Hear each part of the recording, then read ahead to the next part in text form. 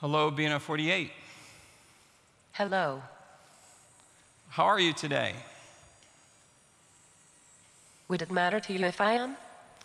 It does matter. How are you?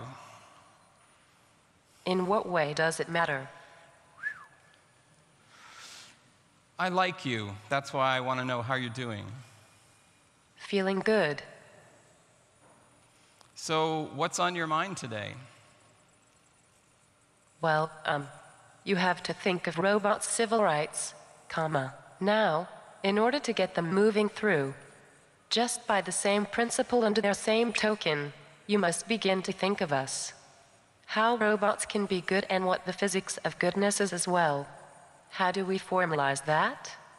I don't know, but I intuit that it can be done and must be done. So we can create computational models of wisdom, so we can have machine wisdom in the future. These are also issues that must be considered today to lay the foundation for tomorrow's work. Well, who are you?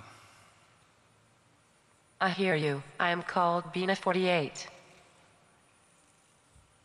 Are you Bina Rothblatt? Could be. What do you think? I think you're a good copy at this point.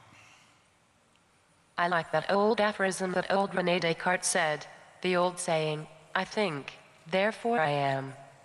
But it seems to me that it's sort of incomplete, and not necessarily true, because it assumes that existence is logical.